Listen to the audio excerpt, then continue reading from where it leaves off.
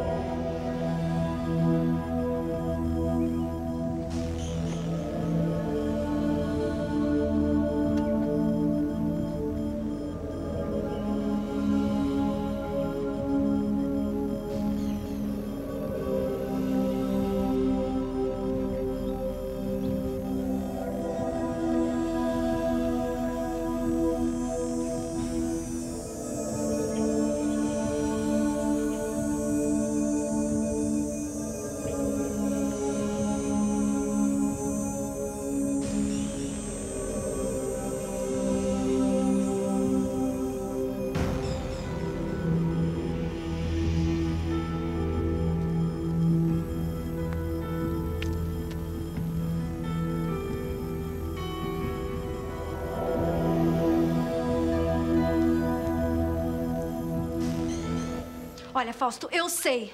Alguma coisa aconteceu com o dado. Fausto, você. Espera um tem- pouquinho. Já não basta a irresponsabilidade do dado, me largando sozinho no meio do dia sem nenhum professor? Agora ainda vou ter que sair procurando o menino porque ele esqueceu a lancheira da escola. Impossível, não vou fazer isso. Mas a gente precisa de ajuda, Fausto. Quem sabia onde o Lau ia treinar ia ser o Orestes, só que ele saiu. Viajou. Foi pra São Paulo. Agora vocês vão ter que se virar seu dadinho. Ai, me traz um lenço pra chorar. Enfim, a corte. Muito minimalista para dono de academia, você não acha? Bebe alguma coisa? Ou vai me dizer que também é daqueles da base do milkshake? Não, tô em dia o suficiente com os abdominais pra tomar uma cervejinha. Hum, ótimo. Pensei que fosse problema de uma geração inteira. A senhora tá falando do dado? Por que que você lembrou dele agora? Peraí. Também já andaram te dizendo que eu tenho um caso com ele? Pode não ser nada pessoal. Pode ser uma fixação em personal trainers. E o seu Orestes? Viajou. Negócios.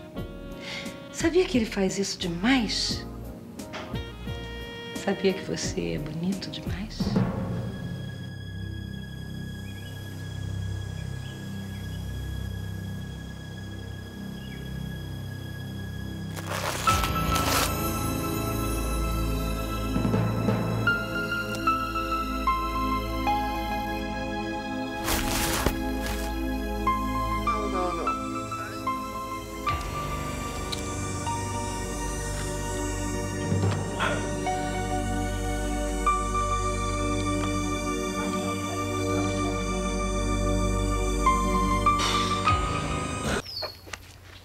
Fala aí, ô safado. Pelo amor de Deus, você não pode aprontar uma co- comigo agora, cara. Pelo menos um, um de nós dois tem que sair vivo daqui pra poder cuidar da minha filha. Acorda, cara. Acorda aí, Eduardo. Acorda aí, cara.